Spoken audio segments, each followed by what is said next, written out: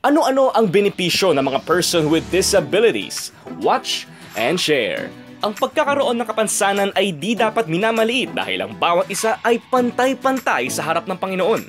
Pero kung ikaw ay may kapansanan o may kakilala lang na may kapansanan, dapat ay malaman mo ang basic na benepisyo at karapatan na dapat mong matanggap. Una, Batay sa Republic Act No. 9442 o Revised Magna Carta for Disabled Person, kailangan ding mabigyan ng 20% discount sa mga gamot, serbisyong medikal, mga kainan at maging pamasahe sa lahat ng pampublikong sasakyan ang mga PWD.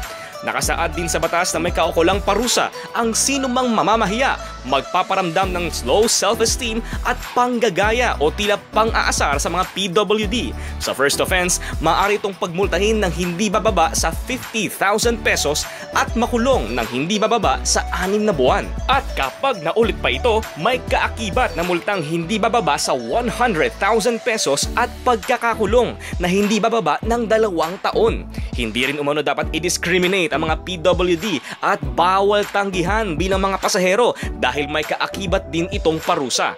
Hashtag love lang, hashtag mahalin ng PWDs at hashtag biyaheng pagbabago.